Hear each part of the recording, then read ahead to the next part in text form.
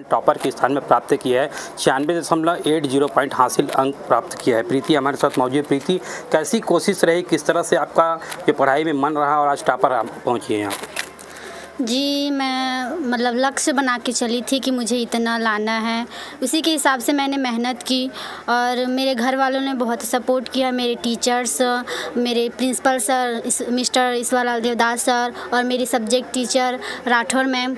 उन्होंने मतलब बहुत ही ज़्यादा हम मुझे सपोर्ट किया और मतलब मुझे मोटिवेट मोटिवेट किया कि ये ऐसे ऐसा पढ़ना चाहिए आपको ऐसा करना चाहिए ऐसा करके उन्होंने मुझे मोटिवेट किया तभी जाकर आज मैंने ये सफलता हासिल की।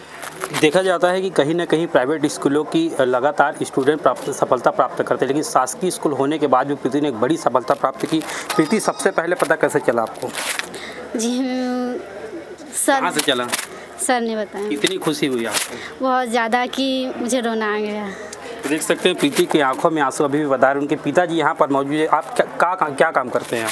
हम मिस्त्री काम करते हैं मकाम वाले। आपकी बेटी ने पूरे प्रदेश भर में तृतीय स्थान प्राप्त किया। कितनी खुशी हो रही है आपको? खुशी बहुत बहुत ज़ोर से हुआ भैया वही खुशी है।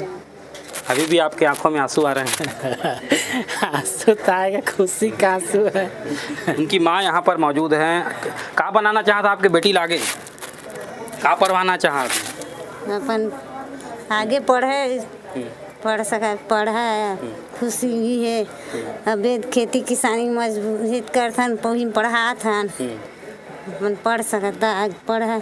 देख सकते हैं माँ बाप भली पढ़ नहीं पाते लेकिन बच्चों को किस तरह से पढ़ाते हैं और उन्हीं का नतीजा बच्चे कुछ सपना कर दिखाते हैं और तृतीय स्थान प्राप्ति की प्रीति शासकीय स्कूल में पढ़ने के बाद भी प्रदेश में तृतीय स्थान हासिल कर पाना एक बड़ी कामयाबी है। Yogesh Yadav news eighteen Baloda Bazar